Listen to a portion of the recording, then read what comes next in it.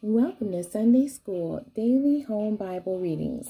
I do not own the rights to this music. Today's topic is the greatness of the Creator, and it's coming out of Psalms 104, verses 1 through 4. And this is the King James Version.